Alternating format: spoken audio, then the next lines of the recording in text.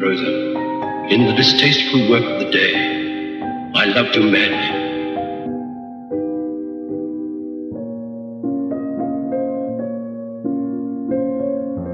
Dearest Rosa, charming Rosa. He haunts my thoughts like a dreadful ghost. When I'm undressed, I.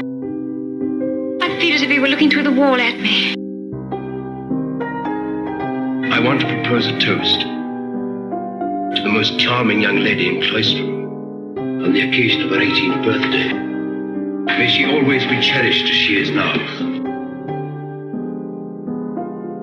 May she always be cherished, she always be cherished as she is now.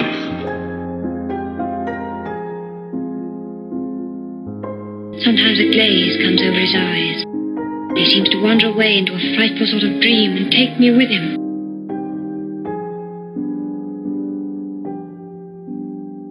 Dearest Rosa.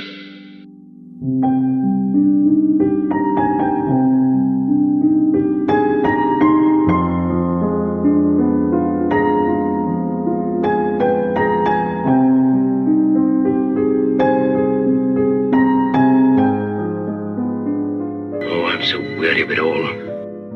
No wretched monk who ever groaned his life away in that gloomy cathedral could have been more tired of it. He could take to carving demons for relief, and did. What shall I do? Must I take to carving them out of my heart? My beloved, I give you my vengeance, my peace, my despair. If only you will give me yourself, because I love you. I love you. I love you.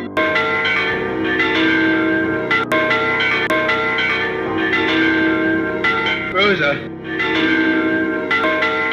the journey's made. Rosa.